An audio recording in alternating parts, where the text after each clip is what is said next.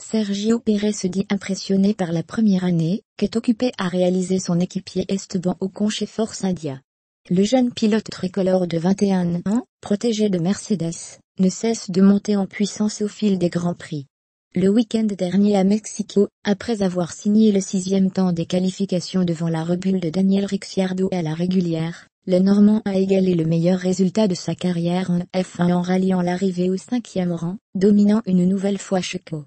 Je ne pensais pas qu'il aurait de tels résultats dès sa première année, concède Perret, cité par Auto Hebdo. Même quand il a une voiture compliquée, Esteban arrive tout de même à aller vite. C'est une de ses forces.